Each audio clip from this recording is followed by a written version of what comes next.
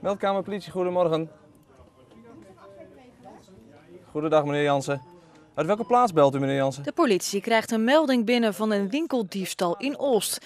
Typisch zo'n zaak waar Burgernet bij kan helpen. De centralist van de meldkamer bepaalt op dat moment, is het wat voor Burgernet? Zitten er eh, voldoende gegevens aan? Is het, eh, eh, het signalement bekend van de dader?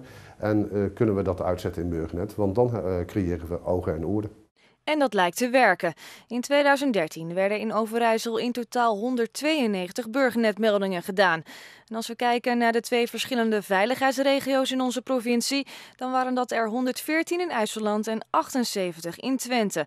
In 2014 waren er 241 meldingen en afgelopen jaar steeg het aantal meldingen naar 276. 180 in IJsseland en 96 in Twente. Kennelijk zijn mensen eh, op het moment dat wij een Burgernetmelding eruit doen, in staat om eh, daarop te schakelen. En eh, dat eh, is een deel van ons succes. Van alle meldingen is 1 op de 6 succesvol. En dankzij de informatie van de burgernetters werd een vermist persoon snel gevonden of kreeg de politie aanvullende informatie waarmee verder gerechercheerd kon worden. Zoals wij dat eh, in technische termen noemen, een keihard succes. Dus het is te relateren aan Burgernet dat eh, de ehm, eh, melding wordt opgelost, de vermiste persoon of eh, de andere zaken. Een winkeldiefstal en die is van tussen. Wat heeft u meegenomen? En ehm, heeft u verder nog qua element nog iets? Qua schoenen of eh, heeft u iets bij zich aan een, eh, aan een tas of zo? Of... En het aantal burgernet-inschrijvingen blijft maar stijgen. Op 1 januari 2013 stonden er ruim 57.000 burgernet-deelnemers ingeschreven. In 2014 waren het er bijna 80.000. In 2015 al bijna 92.000.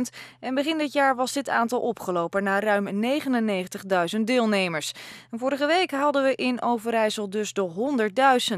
Maar er valt nog wel wat te winnen. We kunnen niet anders constateren dat de veiligheidsregio Twente achterblijft ten opzichte van de rest van onze eenheid.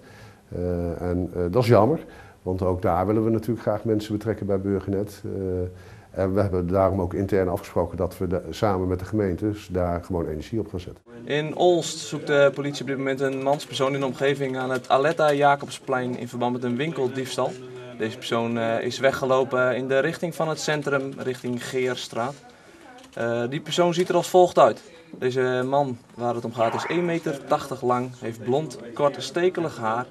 Oost-Nederland telt ruim 300.000 burgernet-inschrijvingen, waarvan dus 100.000 in Overijssel. En er is een hele duidelijke verklaring waarom juist in Oost-Nederland burgernet zo populair is. Ik denk dat het te maken heeft met de inborst eh, van de bewoners die in Oost-Nederland wonen. Eh, zij zijn sneller geneigd, denk ik, om overheidsinstanties zoals de politie te helpen. eh, en eh, zijn dus ook bereid om daar aan te sluiten bij Burgernet. Wij noemen dat wel eens eh, het Noorderschap in, eh, in eh, Oost-Nederland. En dat, dat werkt echt zo. Mocht u deze persoon hebben gezien, dan ontvangen wij daarover als politie graag een bericht. Einde bericht.